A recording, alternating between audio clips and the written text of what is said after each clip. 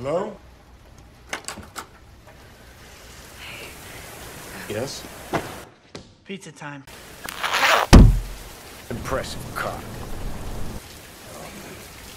It was free pizza! Free fucking pizza! It just shows up at my fucking door! What am I supposed to do?